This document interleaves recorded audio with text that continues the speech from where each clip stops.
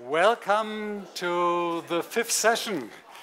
May I invite you to come back in and join? You can bring your coffee, and we are up for an interesting session. We, we will discuss the challenges of and the lessons learned from the pandemic. We've already learned this morning that COVID is a major driver of sepsis on the one hand. On the other hand, the pandemic showed problems in health services which were pre-existent, but it provided new solutions as well. And some of these solutions might be helpful in sepsis. This is the topic of our session. My name is Volkart Wildermuth. I'm a German science journalist working for the public radio here, and we'll start off with short perspectives of our distinguished speakers here on the podium, which have different angles to look at the pandemic and at sepsis as well. And first in line will be Professor Rudi Eggers. You've already met him on the session before. He's Director of Integrated Health Service at the WHO, and he looks at sepsis and COVID from the perspective of the basic health infrastructure. Please. Well, thank you again. Uh, as I said, I was here earlier. So we've heard from uh, the perspective of clinicians, of researchers. Um, we've also heard of the perspective of families and individuals that have been affected by, by sepsis. And now perhaps I can bring the perspective from the public health uh, side of things. So from WHO, we'd like to place the sepsis agenda also into a global context. So that will be my first point. And then my second point, just what WHO is doing in terms of the sepsis agenda. So we've already heard that, of course, the final common pathways for many diseases, many complicated diseases, is sepsis, and we've heard huge numbers. And that is something, of course, that we hear about a lot in hospitals. But of course, we know that sepsis occurs and starts off in communities and in those primary care facilities, and perhaps in family practice as well. So just like we need competent hospitals, we need competent critical care nurses and physicians, we also need very competent community and primary care engagers. In this setting, we find that just common hygiene practices, common infection prevention and control procedures, and systematizing the engagement, both the diagnosis and the management, is of critical and equal importance. We know that, or we've heard today, approximately one fifth of all global uh, deaths have sepsis as a cause or contributing factor. And too many people are still dying of sepsis as a consequence of something that started very small, like we heard this morning, a scratch on the elbow. Only half of the sepsis survivors, of course, will fully recover, and those that do not recover, one out of three will die uh, within a year. And this is data that's quite similar to what was presented by the Jena University earlier. But let's think also about the community setting. The lack of clean water, adequate sanitation, and hygiene practices very often is a contributing factor to microbial transmission and as such a preventable cause of sepsis. Just recently, there was a WHO report uh, that is greatly concerning. It showed that 3.8 billion people do not have access to basic hygienic services in their healthcare, including 688 million people that receive healthcare in facilities that have no uh, hygienic measures whatsoever. Similarly, 22% of global health facilities do not have basic water services. There's no running water. They cannot wash their hands. That means about 1.7 billion people are accessing health services where there's no running water. A huge problem, and that's also a huge problem for sepsis. So, in addition to those facility based uh, services that we talk about in sepsis, we also need to consider just basic improvements of water, sanitation, hygiene, and these on a global scale will actually Im impact dramatically on things such as sepsis. So that's my first pitch. My second pitch, I'd like to mention the WHO work that has been done on sepsis just recently, and that's beyond the COVID driven agenda. There were, of course, a lot of guidelines that were produced in the COVID period that deal with sepsis. So, in, in addition to that, of course, we have greatly invested in additional guidelines and courses, training courses from WHO. In more than 30 countries, we are rolling out emergency and critical care training and process tools to improve the recognition, prioritization, and uh, uh, care of acutely ill patients. And I'm just going to name a couple of courses. There's the WHO ICRC Basic Emergency Care course, which supports early recognition and intervention of sepsis. This has been taught to a thousand more frontline workers and currently is developed by the WHO Academy as one of the first batches of high priority courses.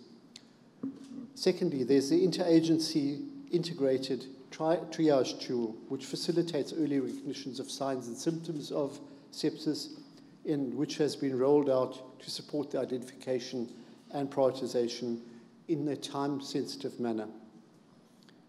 We've got a team that looks at emergency and critical care in a broader sense. Of course, that also covers sepsis, but in a broader sense, it looks at critical care more broadly. And this will be uh, resulting in a course in the World Health uh, uh, WHO Academy course on primary care, which will include this support to the first contact providers to more effectively diagnose and manage sepsis. Finally, all of these tools will be brought together in some uh, sepsis toolkits that would enable countries to actually take up the toolkit and start training their own health workers so that in a less resource endowed country, maybe in Africa, maybe in Asia, these trainings can also take place to assure that this uh, early recognition and the initial response is correct. So thank you for allowing WHO to speak on this behalf. Yeah, thank you. Now we've learned a lot about the importance of primary care. We switch to our next speaker, which is Professor Axel Pries. He's a specialist for cardiovascular health and research, and most of all, he's the dean of the world-known hospital Charité here in Berlin, which is a high-end hospital and delivered critical care to patients with COVID and, of course, for patients with sepsis. Thank you. Yeah, thank you very much for giving me the uh, chance to talk about it. Um, it's only a nickel I can add to the discussion here because uh, the room is full with experts on, on this topic. I come from microcirculation actually, and uh, I think the microcirculation and the phenomena um, in the microcirculation play a big role. But uh, it's also typical that that quite a few of these phenomena are not yet really mastered, and that appeared to me when I.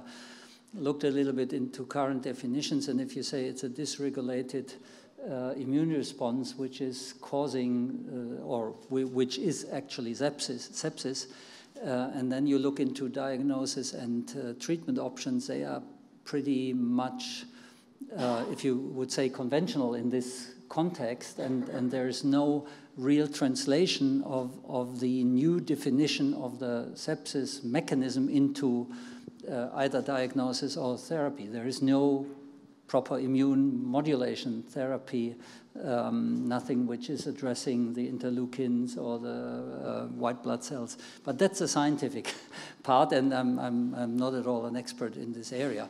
But I think it also links a little bit to why we don't focus enough on sepsis. There are um, people, and that's quite clear, and also a message from, from the COVID crisis, that people um, judge um, danger not according to the real amount of threat in terms of numbers of people are dying. They, they relate it to themselves and whether they can understand the threat or the enemy and, and the reactions.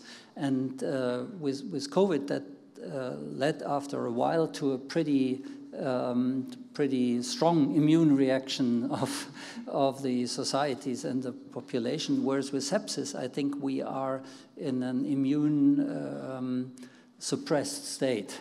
Um, I, I, would say that in, in our curriculum, sepsis doesn't play a role which is at all commensurate to the um, to, to the disease burden. Um, and that's also reflected in, I think, in science and, and research, because otherwise we might be already at a stage where we can deliver a more focused immune modulation therapy, which certainly needs to address individual sepsis cases very differently because you have a large variety between people, but also within a single person. And we also learned that from COVID that the immune response state, whether it's a hyperimmune or, or hypoimmune state, is changing over time. So you would need to know much more about it. And we are not just not doing enough research to, to do it. Okay, other lessons from, from, from the COVID crisis. Um, the, the, uh, when COVID came about, it was quite clear that uh, the scientific field, also the um, industry field, did react much faster and much more focused as compared to the political field. We, uh, when, when COVID came, we, we had a global crisis and we had national, uh, bordering to nationalistic responses like, like in the beginning saying we don't export X and Y to our, even in Europe, to our European partners. Uh, um, and that's uh, ridiculous in a global threat and also ridiculous according to global supply chains. Whereas on the other hand, in, in the scientific field, I had the impression both within the Charité, but also within uh, Germany, and, and also internationally that the cooperation was very, very focused. And we switched from uh, competition to cooperation. And that's something which I think we could also learn for, for sepsis, because we are all trained, and it was in the talk in, in the previous round, we are all trained, maybe it's a tribal uh, background, but it's also the scientific reality of every day. You are trained to beat your, uh, your peer in terms of writing a better grant application, coming up with a better paper, and so on and so forth. And in, in tackling a, a real threat, that doesn't help. It's good to have different ideas and to pick the best idea, but then you have to work together, let's say, make a trial. If everyone does his own uh, or her own trial, it, uh, every one of these trials is worth nothing. And that's also true in, in Germany. We, we, uh, at Charité, we created a, um, a uh, COVID research board where people were working together in unprecedented ways. Also, I found that 90% uh, of every uh, of, of all scientists at Charité were actually uh, virologists or at least COVID researchers, which was a new finding for me as a dean. Um, but it shows how agile research is. So the researchers uh, that this is a very big question. We have to address this, and we have to do it together. And I think that's something which, which really should should be learned for for um, for sepsis. And the other thing is make sep sepsis more understandable to everyone, so we can include it more effectively in our curriculum and in also in the public notion, because uh, even after my medical study, for me it was kind of an enigma uh, what it actually is. Thank you. Thank you. We are lucky we have a communication specialist with us, Joachim Müller-Jung. He is a science journalist in the Frankfurter Allgemeine Zeitung and the Frankfurter Sonntagszeitung. He had the science department there for many years and in the COVID pandemic reached a much wider audience with in-depth coverage, but on the other hand had to debunk a lot of fake news as well. So what is your take? Yes, thank you very much. Um, nice uh, that you just mentioned the, the uh, cooperation. Uh, I just uh, read yesterday the, 50, the 57 uh, page long uh, review the, from the Lancet Commission which, uh, which mentioned a lot of failures, big failures, in, especially in medicine and science. And one, one of those is the, the operational coordina coordination of international research and the cooperation. So maybe it's exceptional. Of course, I know the situation in, in, in the Charité is exceptional case, uh, and maybe there's international, uh, international there, there have been different cases. that would be very um, helpful to um, yeah, uh, to discuss those those failures uh, which are which are documented by by Lancet. But but I don't want to talk about uh, cooperation or the the scientific failures or or the cooperational failures. I want to talk. I want to to to talk about about trust and the importance of trust. And you mentioned the communication aspect, and and I heard a lot uh, about uh, the vocabulary uh, the sepsis, this word sepsis, which is for most people an abstract uh, vocabulary, uh, and it is still for, for most people. And I, I investigated in my own archive, also in, in our own archive in the newspaper, and, and I was very astonished that uh, we have 170 uh, magazines, newspapers, and so on uh, documented. There we have a really big uh, documentary, uh, and um, in the last 10 years, just just to mention this, in the last 10 years we had seven, we had 600 hits for sepsis, and 800 around about 800 for Blutvergiftung, which is the same in Germany as sepsis. Uh, so 600 in 10 years. For HIV, we have the tenfold. We have uh, six to 7,000. And uh, concerning cancer, we have 24 to 25,000 hits just uh, documented by the, the, the, the, newspapers and magazines and uh, the, the, popular, uh, the popular um, yeah, media. So uh, this is a failure, of course, of us, uh, and we have a responsibility. we, but this is just one aspect. we are just one part of this communication um, of this communication network which we have to build and uh, the covid crisis i mean is one example where we can see how it should work and how it shouldn't also work. And trust is the main part and uh, is, a, is the main issue uh, because we are confronted as journalists and of course as citizens also, and of course as physicians, and a lot of physicians were misinformed, were disinformed, and they use misinformation because they don't know better, and they should, they should, of course. Uh, so uh, I, I was uh, part of a presentation last week uh, here in Berlin, uh, a survey which is uh, um, which is um, done by Elsevier and, and Körber Stiftung. It is realized by Economist Impact, and it's not, it's not published so far, so I cannot use the, the, exact numbers, but of course, it was very interesting. It will be published uh, during Falling Walls here in Berlin, uh, but there is a survey in different countries, and we discussed this, this or the, the questions were about trust, uh, during the COVID crisis, and we discussed that uh, with the researchers and the investigators. And uh, it was very interesting to, to, to hear uh, that a lot of young researchers, which took part in, in this survey, a lot of young researchers are interested in doing communication. They didn't do that so far before COVID, but they now try to do. And a lot of them, a lot of the, the, uh, the uh, the young researchers which were asked, yeah, they were very open. It's about one third uh, to one, one fourth to one third, and 60%, so two thirds agree that there should be more awareness. And why is that? Because, because they have the issue, they have the, the, the problem um, of, um, yeah, missing trust. They, they, they, no, they, they noticed that there is a lot of misinformation uh, in the public, and they, they, they think they should, they should uh, correct that. and for themselves.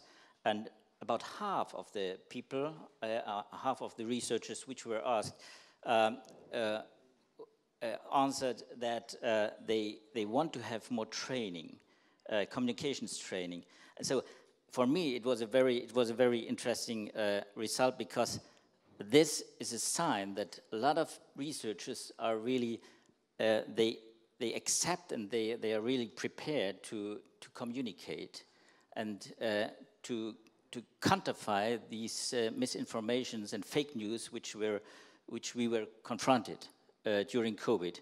And that's really, this is a war, this is a war of fake news, and we should, we should present the public targeted information. And it's not just targeted information by scientists or science writer, it is targeted information and good information, uh, trusted information by researchers. A lot of these fake news are um, focused on vaccines, and vaccines, on the other hand, were major impact, have a major impact on the uh, COVID pandemic. So with us is Professor Stefan Kaufmann. He's a vaccine developer and researcher. He's director emeritus at two Max Planck Institutes for infection biology here in Berlin and multidisciplinary sciences in Göttingen. What is your take? Yes, thank you. Um, it's, um, it's an interesting question, actually. I uh, wanted to say a few things which already Axel Pries has covered on research, but I come back to that. So I think that indeed COVID-19 has changed the world. First, it has shown to those amongst us who thought uh, infectious diseases are over, are a matter of the past. No, they are not a matter of the past. They are, they are a matter of past, present, and future. And the second thing, and now we come to vaccines, vaccines can be game changers. And I mean, here research development and therefore science also can contribute and can be a game changer, for example, through vaccines. Now, I think we have to learn the lessons now for the future. And um, I think the area of emerging viral infections are well taken. I mean, Nothing is optimal, but at least they are quite well taken. But then there are the unbeaten threats, as I would like to call them, the diseases including TB, tuberculosis, malaria, HIV, hepatitis C. And I'm a worker in the area of tuberculosis, and we have a vaccine uh, that's now in several phase three trials, and I'm very optimistic. The issue is this took us some decades. Now you can say you are more stupid or you didn't do it with all the engagement, but I will come back to that and tell you why this is um, more complex, and that's also important if we consider vaccines actually for certain types or agents that cause sepsis. And the last point I think also is that we have to be clear, and that has been discussed here enormously, and I'm very uh, glad to see that, and that's the bad bugs. Those uh, bugs or those agents that are antimicrobial resistant, which is an increasing issue for many, many diseases. I understand we don't die of AMR, but obviously we die because these bugs are AMR, they are resistant. Now, we all agree, and I don't need to say that and reiterate that sepsis clearly is a major threat, perhaps even the threat. It belongs to those uh, unbeaten and sometimes almost forgotten. I talk about the public. Um, and AMR really is devastating for that. So could we get vaccines against, um, could we get vaccines against sepsis? I think there is a way, and I think that the president of the, um, uh, of the uh, uh rapid development of vaccines against coronavirus is uh, given a good example. The issue is that there is a plethora of pathogens, so we cannot have one target, we have many targets, and these pathogens use very, very different mechanisms to succeed in the host. And second, obviously, that um, we need a more complex array of vaccines. COVID-19, and I say that with the enormous respect to what has happened, but still was an easy way for vaccine developers. One agent, one antigen that's protective, and therefore one type of immunity, neutralizing antibodies are a major player, not the only one, but still. TB, my field, is more complex. There you have a kind of a very fine-tuned balance of immune responses, notably the white blood cells, the T cells. And sepsis is even more complicated. It's many agents, many disease-causing um, agents, many mechanisms underlying and very different mechanisms. So clearly one size will not fit all of those, but still I think, and pneumonia, pneumococcus vaccines have shown it can be done. COVID-19, if you count those as a major driver of sepsis as well. Um, and I don't want to discuss that now, but uh, also showed it can work. More complex ones are there, but even if you get only a couple of vaccines, that could be a game changer. That's the active vaccination. If I may just say, there's another way of vaccination that Axel Pries also mentioned that I would call it host-directed therapy. That is an approach that's very, very complex. We learned from many diseases there are different endotypes, infectious diseases, those who hyper-respond, those who show hypo responses. And similarly, this is clearly a, a major point in sepsis. So we need biomarkers that tell us which endotype these individuals are, and then also go it. So in sum, I think it is worth to consider vaccine development, both active and passive vaccination, including host-directed therapy for sepsis. And I think the major issue we have to see is vaccines, science can be game changers, and clearly COVID also tells us it's a matter of financial support.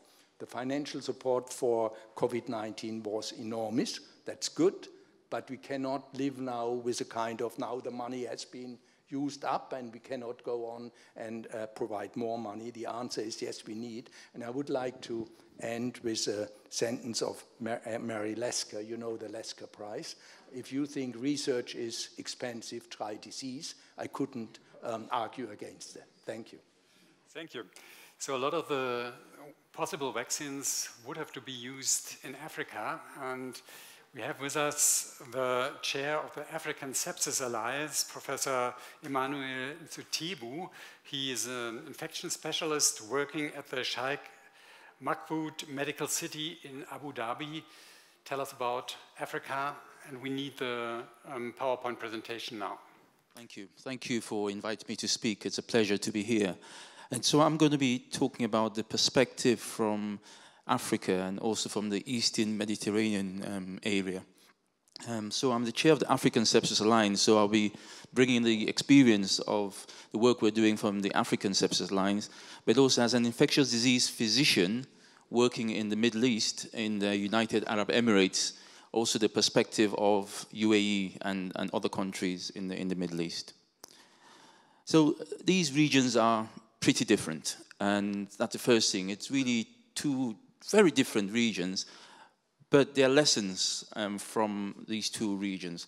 The first is Africa has the youngest population in the world. So 60% of the population under the age of 25. It's really a young population.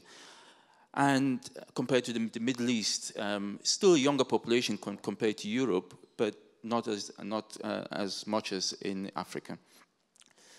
Also, relatively speaking, um, in Africa, relatively less resources, often described as mismanaged resources, not less resources, but there's a real problem with lack of funding in the healthcare system um, as, as compared to the Middle East. So one estimate, for example, with respect to access to ventilators, is in Africa, it's one ventilator to 1,650,000 uh, members of the population, compared to one ventilator to 1,650 people in, in, in, the US, for example. So real differences in, in terms of strength of the healthcare system.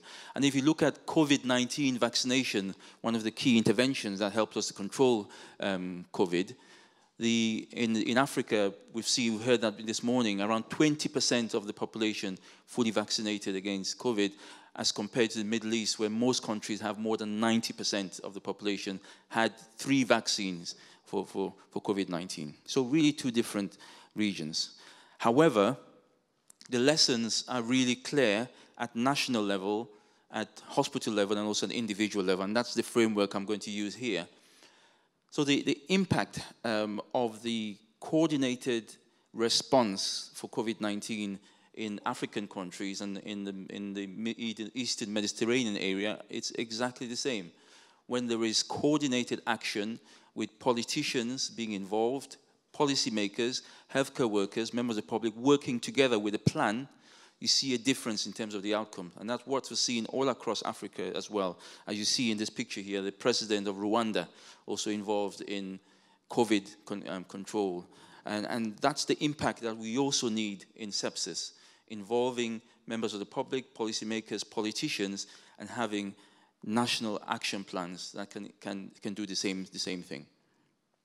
At the healthcare level, we've also seen significant improvements across the board, not where we wanted to be in, in these regions, but at, in, at hospital level, where most of us work as clinicians, we've seen improvements in systems to identify and care for patients that are critically ill in terms of um, triage, um, um, uh, diagnosis, use of early warning scores, response systems. So we've strengthened systems in hospital to respond to COVID, and there are obvious benefits for other critical illnesses, including um, sepsis.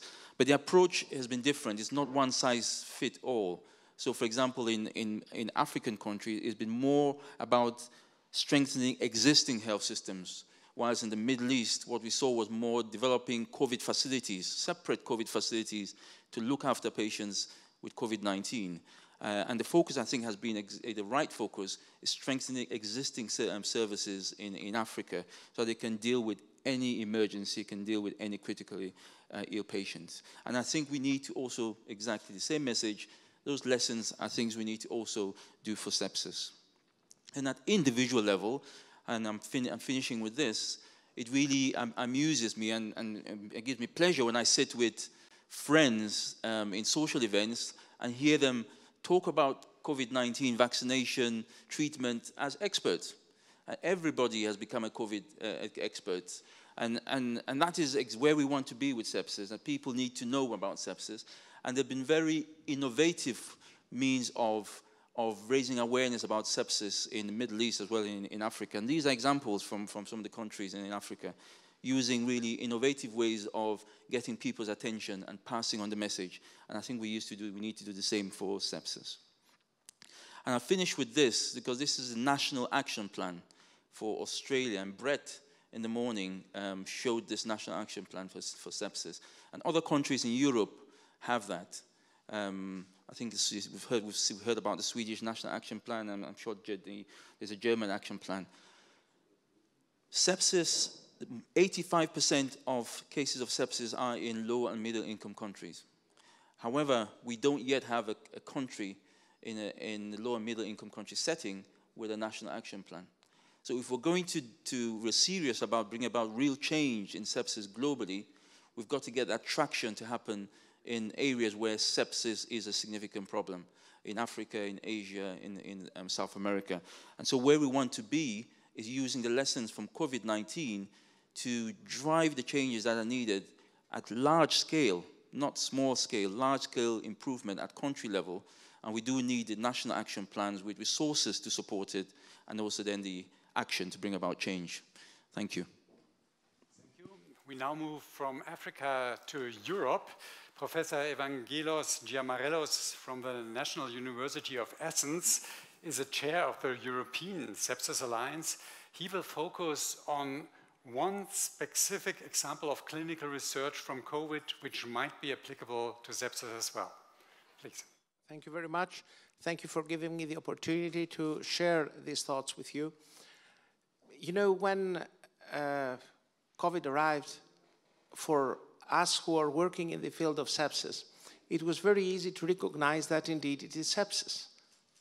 A similar reaction, more or less, similar principles of reaction. And uh, this led to the thoughts that were has started more or less to be recognized the last decade before the pandemic that one approach in order to treat sepsis would be to modulate the exaggerated immune response of the host. However, because of the failures of similar approaches 30 years ago, most of researchers around 15, 16, and 17, they were recognizing that we need to move towards the principles of precision medicine. So my thought was that these principles need to adapt to COVID-19. So allow me, I don't know how it, oh. Allow me to show you that indeed we managed to succeed that, and not just to manage to have a successful publication, but actually to have a new strategy which is not just active, but it's also recognized by the European regulatory, by the European Medicines Agency, that indeed a drug of immunotherapy can be used to maximize efficacy when you find a way to identify the patient population where you may have most of efficacy. In COVID-19, this is working. And allow me to show you the principles of how this is working. So these are all patients who are admitted to hospital.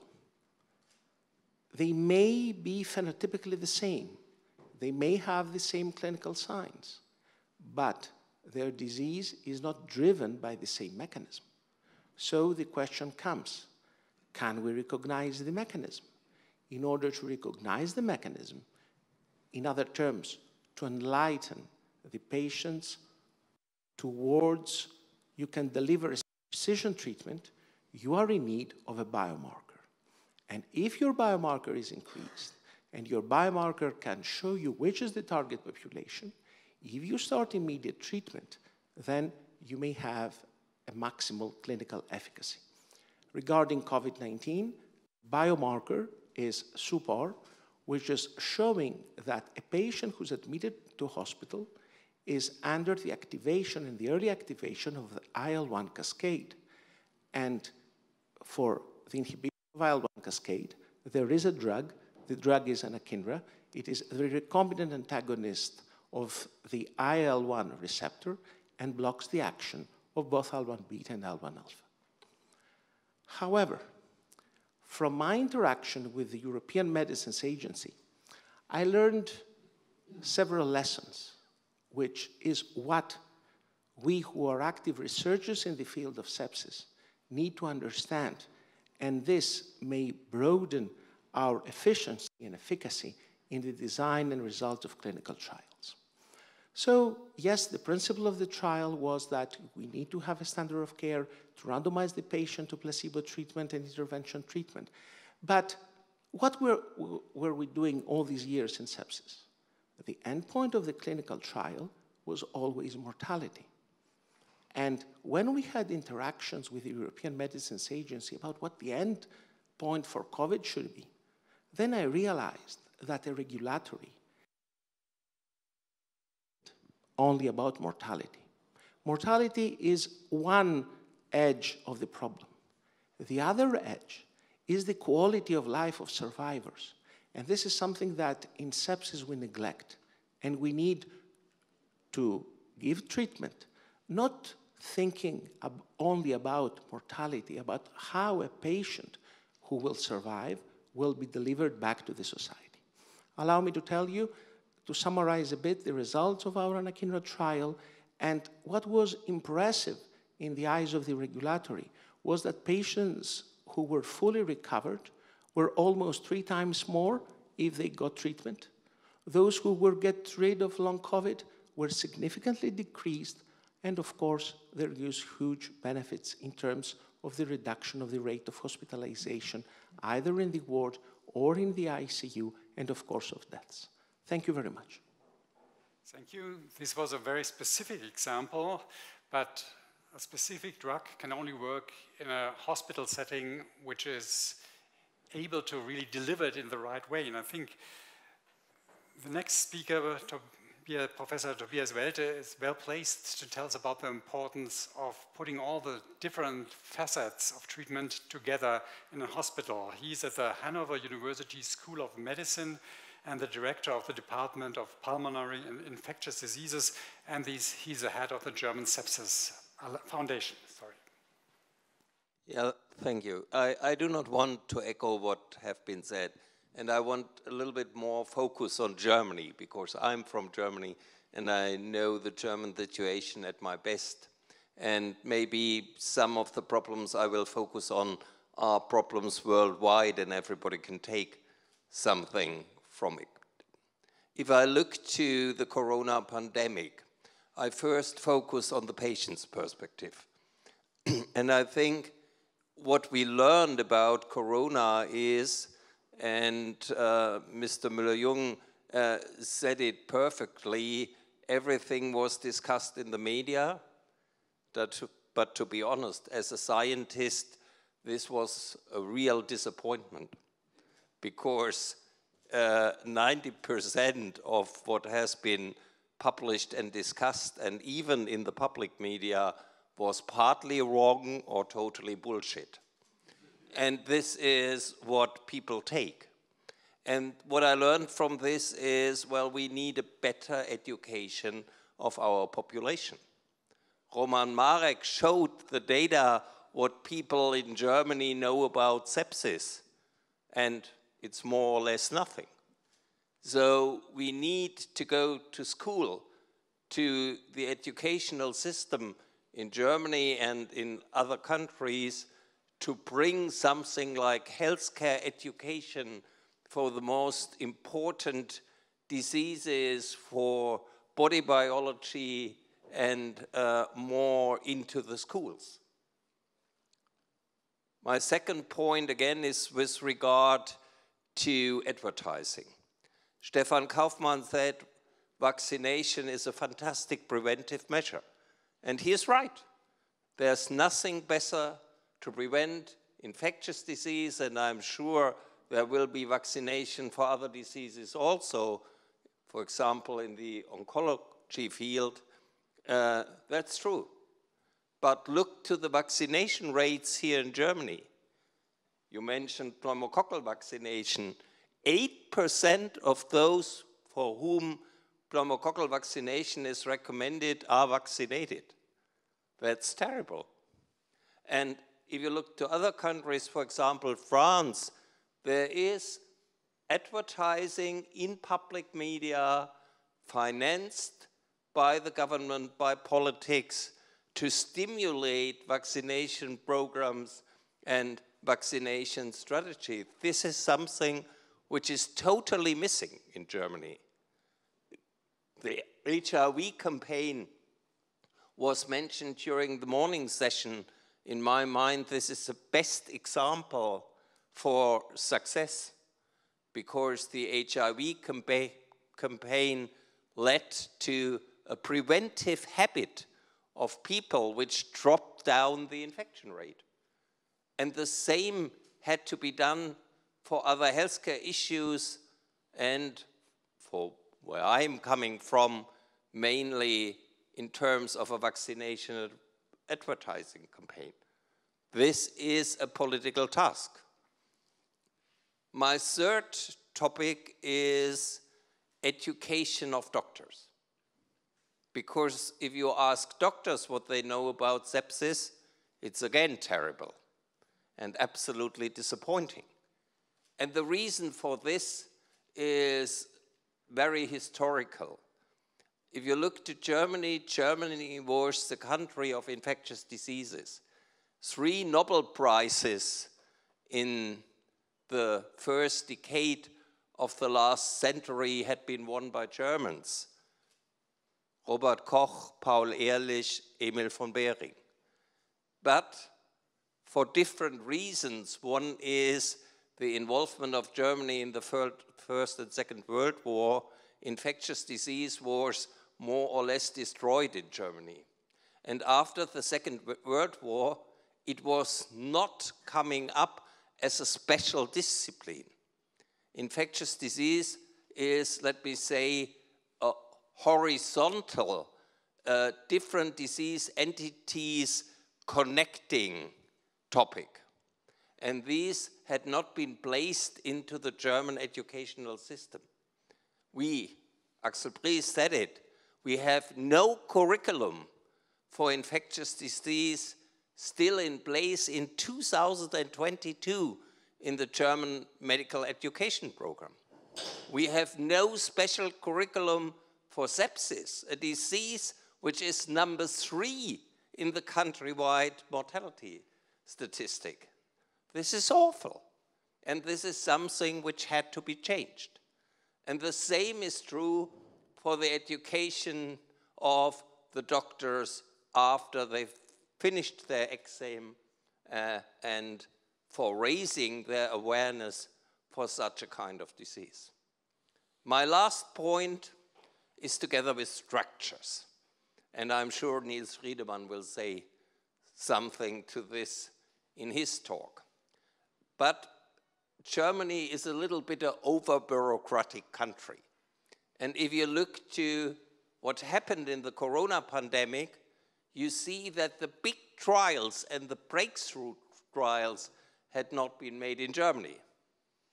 This was recovery in the UK, REMAP-CAP in the Netherlands, the American networks, which published the big studies in a very fast and nevertheless integer manner. Why did it not take place in Germany? Because the numbers of patients, the number of patients in hospital on intensive care had been high. But why were we not successful? And the major reason is we have no system in place. We have no platform for clinical studies. We have no regulation how to deal with a situation like a pandemic. We are much, much, much too slow. And we do have bureaucratic obstacles, bureaucratic hurdles, which avoid to move forward in, a, in view of a pandemic. And this has to be overcome. My last, because time is running, my last sentence, and this has been said by a number of the panelists, is if you want to be successful in medicine and in research, and mainly for a complicated disease like sepsis, you need money. If a government, and Germany is a country in which brain, the development of educated patients, people, uh, is main for the economic.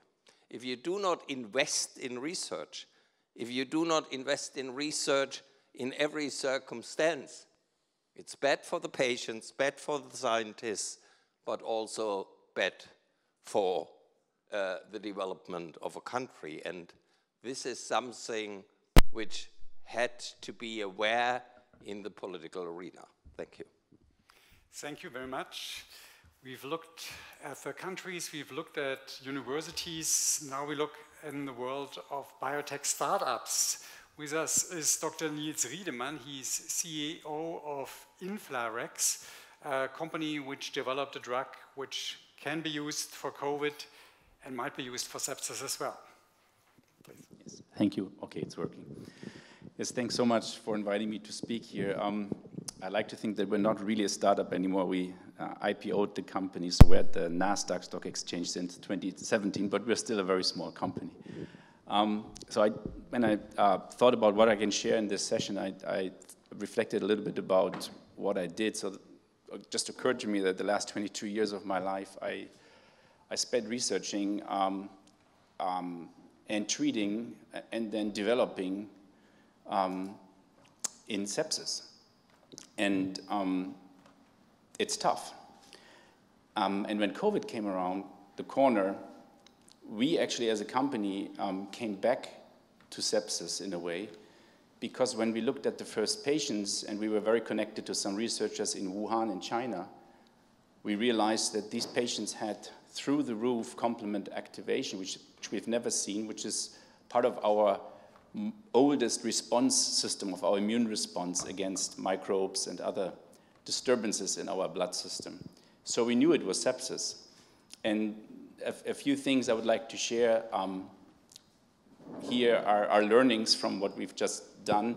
We're a very small team, about 50 people in the company, and we, we just about completed this year one of the, well, actually what we believe is the largest global study, um, one-to-one randomized placebo-controlled global study in invasively intubated, um, mechanically ventilated COVID-19 patients. So this, these are the patients that show death rates above 40% at 28 days and higher. And despite a lot of progress and despite the, the blessing of vaccinations and, and the blessing of first therapies to target the virus, unfortunately, we still see patients progressing to what we now know is an immune response driven um, viral sepsis. And um, of course, you do progress, you, you do get more likely not, not to this status if you're um, vaccinated, and that is good, the good news for the healthy people. But what about the news for those that are unlucky lucky and progress? And so when running the study, which we were happy to get it published last week in the Lancet Respiratory Medicine, and which showed uh, um, a 24% relative reduction of death in the global data setting, um, when we um, conducted the study, we had to run into a few learnings, and I want to share just a few of them with you. But before I do that, I want to also point out something very positive because it was already kind of uh, mentioned here um, by some of the speakers, um, especially Dr. Pries here from, from the Charité, which is um, something that uh, I also found amazing. I think we've never seen more increase of in-depth research and knowledge in a field than through this pandemic. And this is something that was really possible because of the driving forces, but also because of collaboration. And it was mentioned before, and also be because information was exchanged fast. At least between the researchers, not always appropriately in the public. Unfortunately, that's a whole lot of different story. But this was something that is a huge opportunity for sepsis research. This is why I'm happy to speak here today, because um, realizing that what has been done there can be translated to sepsis research is great. Now, it is really important to recognize that not everybody develops a sepsis with COVID, thankfully.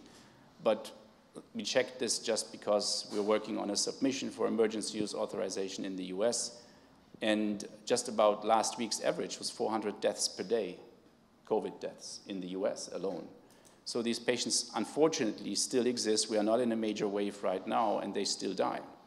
So a few learnings, and one of them is really going out to a general remark that um, leads to something that, that um, Tobias Welte just mentioned that I can only echo. We are not pandemically prepared in most countries of the world to run a study even together. And that has to do with regulatory hurdles, mostly. And as, as a little um, story here, for example, when we wanted to start the study also in Germany, um, and the study ran in, in, diff in, different continents, in different countries worldwide, we actually um, had a very good engagement with our very scientifically driven um, authorities, regulatory authorities, which is in our case for antibodies the Paul Ehrlich Institute, like the German FDA, if you will.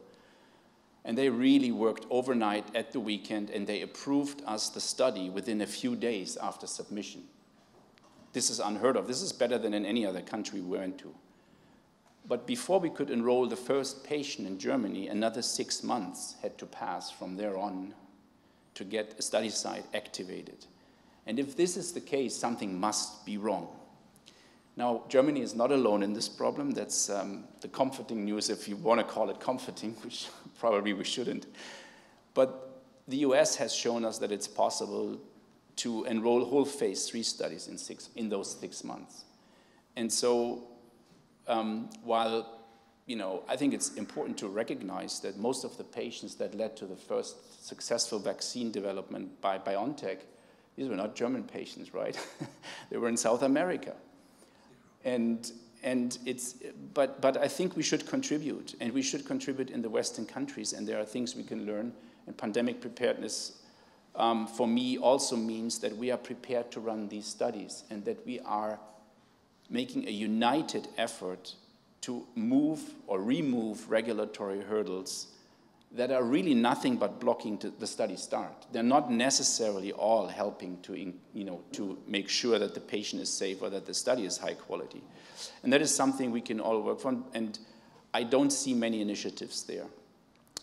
Um, another thing that I would like to share that I think goes to the um, area of collaboration. One thing, frankly, and I'm, I'm being very honest, you know, hopefully I, I'm, I'm not stepping on anybody's toes it really bothered me that in every TV show, at least in Germany, we always saw virologists. I, I like virologists. I have, I have, nothing against virologists. And then after a while, someone thought about maybe we should invite an epidemiologist. Then after a while, someone thought maybe it's good if we also invite um, a pulmonologist, even or intensive care physician, heaven forbid.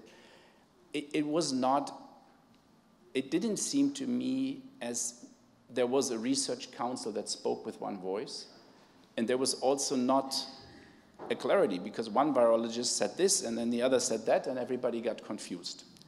And so we can learn about communication, we can learn about how much you can get achieved if you actually also align the public. Because if someone knows their studies and they're important, they may be more likely to give informed consent for such a study. So I think it is all connected, and there we can do a better job. And last but not least, um, um, this is also more of a, a, personal learning, and then I stop. And I mentioned that last week on our press conferences. I, I always wondered why is the sad truth that there's so many people dying from sepsis, but there's so little known. And, and Tobias said it perfectly. It's, it's, it's, it's awful, right? And um, the problem may be that you know when you have HIV or a cancer, this is something that is very close to all of us because you live among us and we see you suffering. Um, but when you have a sepsis, you're transferred to an intensive care unit. Nobody sees you anymore. And people die when they're in the hospital on an intensive care unit. So that's tragic, but it happens. And I do believe that we should really appeal to people's empathy there are a lot of tragedies. These are not all, uh, not all 95-year-old people with uh, or pre-disease. These, these are tragedies. And, and, and patients that develop this, many of them were also vaccinated. Of course, the majority probably was not. But um, there is a need to also help these people. I know it's just one part of the story, and others may be more important. But when you develop actually a drug to help these people, you understand how little is known, how little engagement there is, and how little working together there is. And the, the last sentence, if we didn't have such great nurses, investigators, staff, engaged people that actually work at the patient bedside, researchers, uh, this would have never been possible. It was really personal engagement of individuals. So with that, uh, Thank you for letting me share.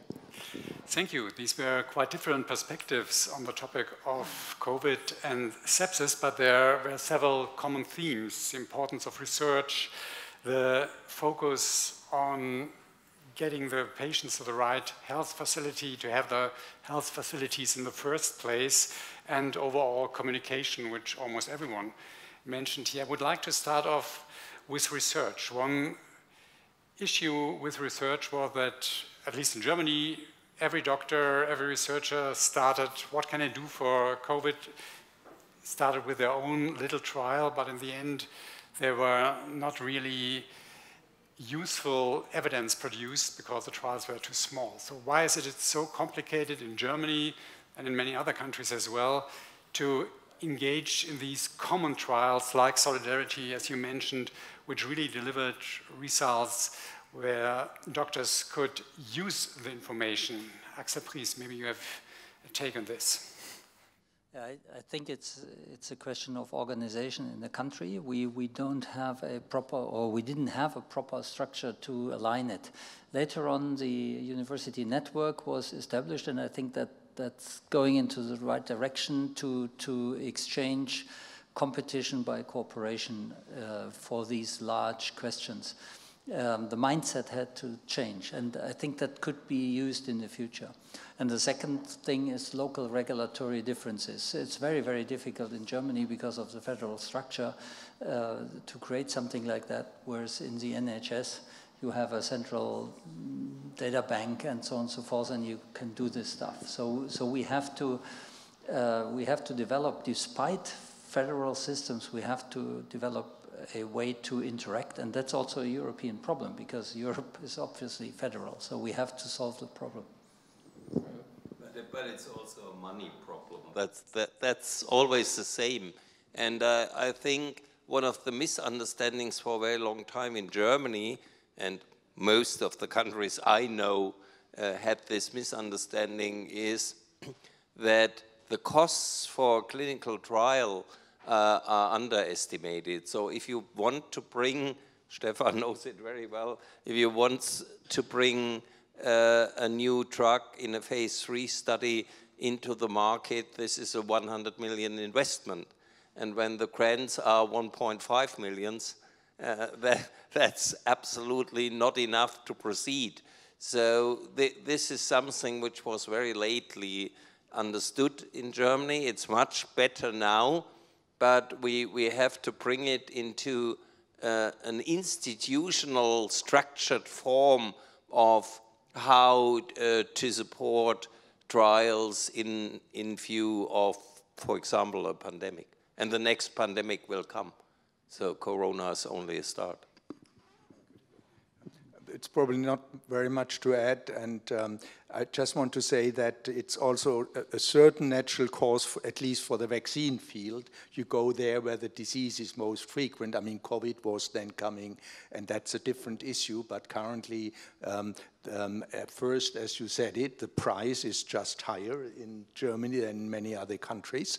And um, to make that also clear, if one goes to Africa, one does it in Africa with the Africans. I'm not want to be misunderstood. We did that with Gates money, uh, where we built up uh, infrastructure. And, and, and I want just to add that Germany often forgets that it's not just a project, it's not just positions, it is infrastructure that you have to develop. And I would claim that in South Africa, infrastructure currently for certain vaccines are better than in, much better, uh, to make it clear, much, much better than in Germany. Uh, uh, so there is also a natural reason, namely um, infectious diseases on overall are lower than in other countries, not, not to be generalizing, but in often, and, and that is a reason, and Germany just was not ready. As I said, I, I remember very well when I was told by German sponsors, we are not sponsoring uh, money in, uh, outside of Germany. Um, this money is taxpayers' money for Germany. That's wrong. It has changed slightly, but the Americans, uh, the US had seen that much earlier. I, th I think the main sentence is global. Yes. And, and you only can fight infectious disease globally. And this must include low-income countries, uh, middle-income countries, and the rich countries. And we said it several times, only worldwide collaboration will help to fight pandemics. Well, uh, I fully agree with what was mentioned, but uh, I have also to add that the paradigm I uh, mentioned to you regarding the precision medicine has now moved, and it's something which is already taking place through a, a large European collaboration where patients who are with sepsis, with bacterial sepsis in the ICU, they receive precision treatment. And this is a trial which is funded by the European Union, which is taking place in Germany. In Germany, it's taking place in the University of Jena. It's taking place in two uh, cities in the Netherlands, in Switzerland, in Italy, and in Greece.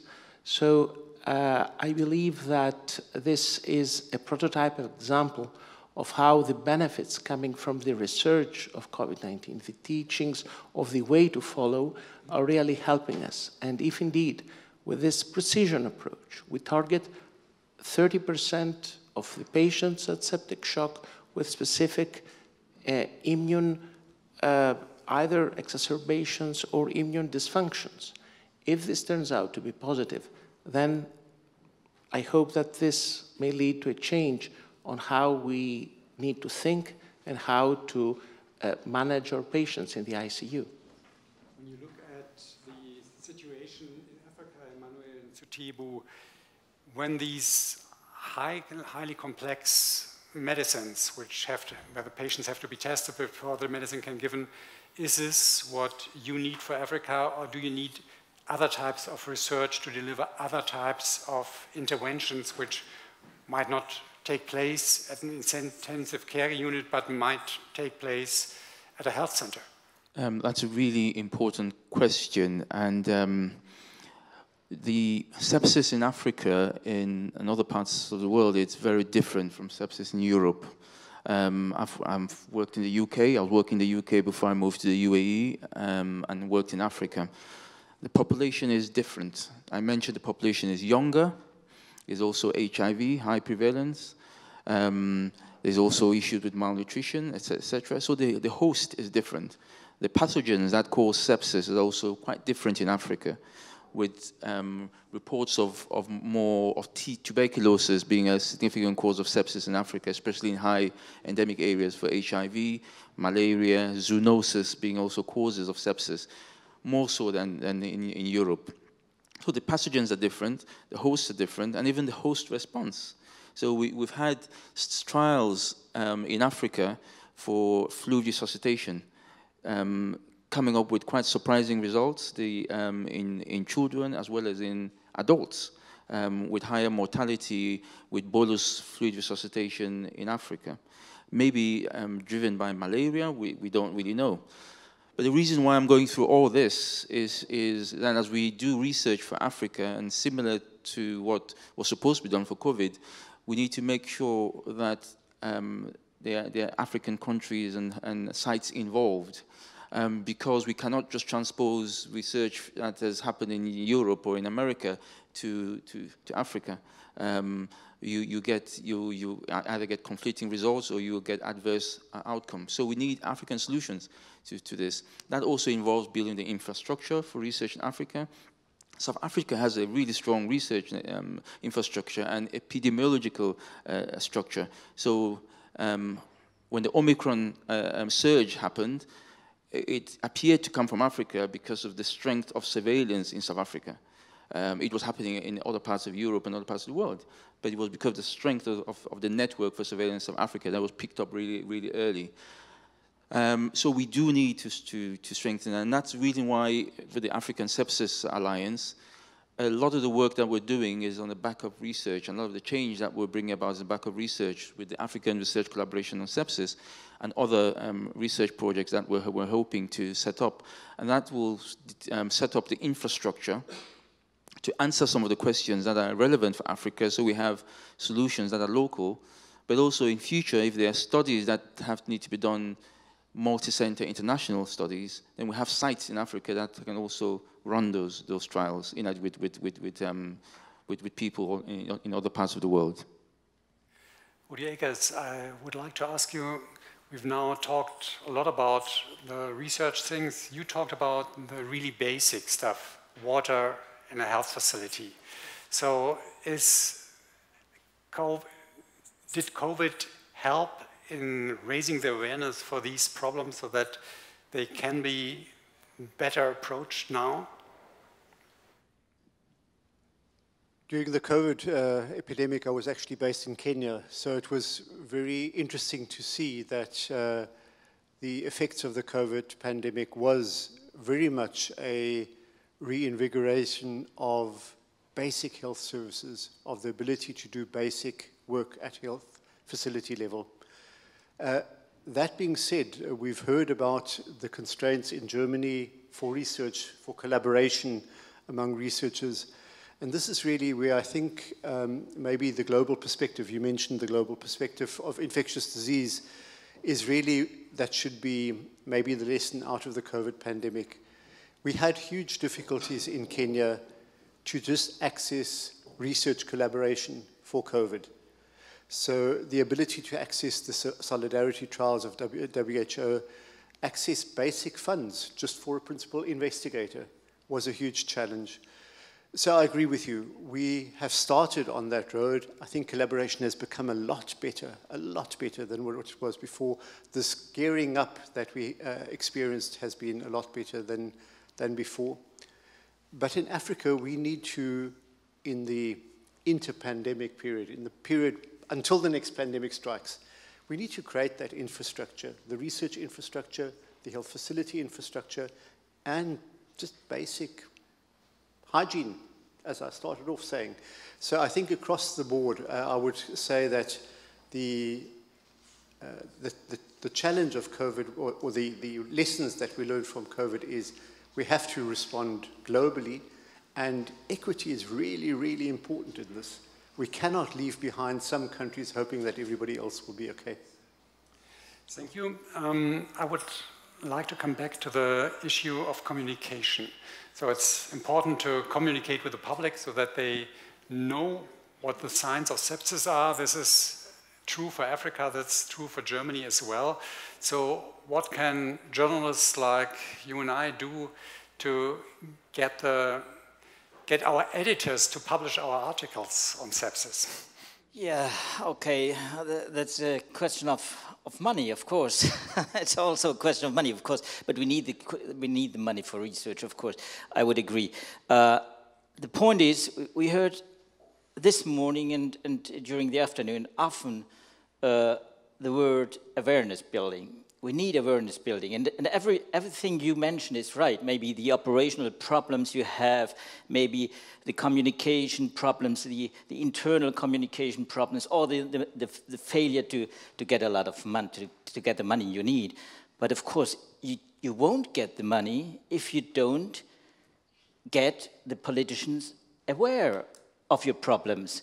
So my, my suggestion for, for uh, sepsis researchers uh, and maybe for the alliance also is, of course, to be more aggressive. Of course, we learned during this COVID crisis that the long COVID community, which is now uh, attached to the to the chronic fatigue uh, community, which is getting more aggressive. They now demonstrate in front of uh, of uh, uh, mm, the buildings of government buildings. Actually, they they they so you have to be more aggressive. And we, of course, as, as, as media, we can present platforms, we can give you room, we can give you space, we can give you the opportunity. But of course, you have to argue on these, on these platforms. You have to communicate and communicate in a manner which is, and that is also a lesson from COVID, which is not just right and precise, which is also popular enough and which of course can be discussed in, in, the, in the public sphere. A lot of researchers are very, yeah, they, they got problems, of course. Uh, one third of the, of, the, of the researchers which were asked uh, for this survey, uh, they had really negative experiences having communicated with the public. They got aggressive reactions uh, and we have a lot of German uh, examples of that. Uh, of course, it is, it is really hard to communicate as a researcher, but it is necessary. And I would say we can, especially in this new era of, of uh, electronic communication, digital communication, we have platforms, we, we, have, we, we don't need these constraints which are a problem when you just print newspapers. Of course, we now have platforms big enough. We can really uh, try to popularize subjects and subjects like sepsis, which is so important, not just we heard this morning a lot of examples. Why, why, is it so so important? And the and the numbers everybody knows here. So I would say this is a case where the obvious reason to to be more aggressive, to be more offensive as a researcher, research communicator is, is, is a priority, is a priority. It's not just marketing campaigns. We heard about wonderful marketing campaigns. Uh, that is one, one aspect. Advertisements and so on. These are good, good uh, trials. But uh, of course, most enough is interactive communication. And I, I guess uh, we have the responsibility to, to, to moderate those communications also. Uh, of course, we are gatekeepers, but the researchers, they should be sentinels, I would say. They should be sentinels for the crisis, and the sepsis crisis is not smaller than the COVID crisis. So they should try to communicate more aggressive. Axel Pries. Good challenge, but it's uh, not so easy, and you have to look at the reasons why it's not happening. In cancer, they have the zero cancer vision, and everyone knows uh, what they talk about. In sepsis, if you talk to your family, they say, "What's that?" And uh, um, that's that's a real problem. And the other problem is that that people die in the hospital, so you don't have the patient advocate groups they are very strong in, in cancer. They are less strong in cardiovascular, which is also not driven by, by mortality or morbidity, but rather by, by fear and by, by the perception. And I think for, for sepsis, there's, a, there's a really a, a lack of perception of what it is. And uh, so the, the, the, if the researchers go um, to the politicians and say it has to be done, uh, there's the automatic reflex that the researchers want money for their research, like everyone in research, because that's what we do and we need money to do it. But we need uh, independent people like patient groups and, and, others to support that. And in, in sepsis, that's very difficult. It can be done with sepsis survivors, which is an increasing group. It can be done with uh, relatives. Um, but I think um, if you want to do it, you have to really look into the mechanisms which, which create sepsis such a black hole in, in the notion, both among medics, uh, I mean, in, in our curriculum, you said that, and even more in the public. And this uh, mismatch of the real danger and the reaction is really stunning. And we have to analyze it. The, the media cannot do that. They, they can just be the uh, amplifier for what we are doing, but we have to analyze the reasons and then address the reasons. One last word by Niels yeah. Riedemann. Yeah, uh, to, to this topic, um, very short anecdotal. I, I, during the pandemic, I spoke with, uh, with a person um, in the Ministry of Education and, and, and Science um, trying to convince them that it's very important not to just put grants out for vaccines, but also for treatments, including long COVID, but just treatments. And the answer was, yeah, maybe, maybe not, maybe, uh, but you should really create more pressure through the press if you want us to move. I was very shocked because I said, then I, then we, we just tell you what you should fund after I talk to the press. Um, but what I learned, and that's my point here, yeah, I was very shocked about this, to be honest. But what I really learned is we all have an agenda. I'm, as a CEO of a biotech company, already many people of you will think, oh, the guy's only about money. This is a prejudice, and people assume it's my agenda. Uh, I'm, I'm, a big believer that uh, people should put their conflicts out, and it should be on the table for everyone. But journalists don't put their conflicts of interest out. Researchers rarely do it, uh, unless they get money from the bad industry. That's a conflict. But we all have an agenda. And that's legitimate. It's, not, it's nothing bad. It's just bad if we let it get in the way of our judgment. And if we can align an agenda, if we agree that we want to lower sepsis mortality or create awareness, if we all, media, researchers, scientists, developers, if we all say this is what we want, if we align on the agenda, then we can speak more freely. And, and this is really something that I saw here and there happening in COVID. And I think if we can get this done, we can get done a lot. Thank you. This, this was a good last word for this session.